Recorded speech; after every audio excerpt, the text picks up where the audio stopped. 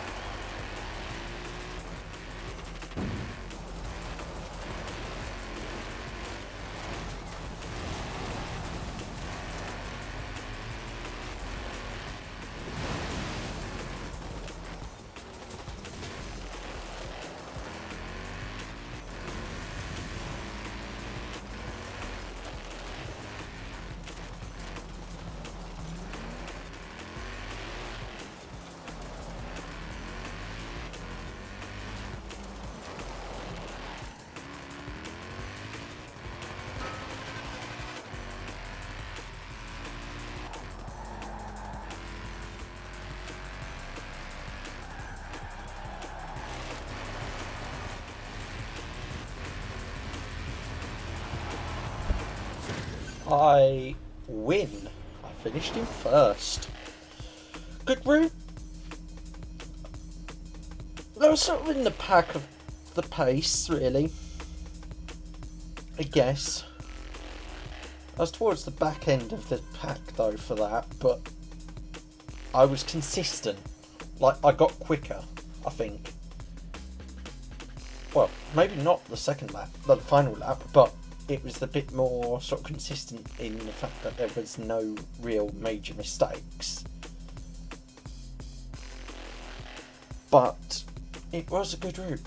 It's it was a fun route. Checkpointing again iffy. I sort of want to say six, nearly seven on that. Let me go down what you thought that. But until next time, it is a goodbye and cheerio.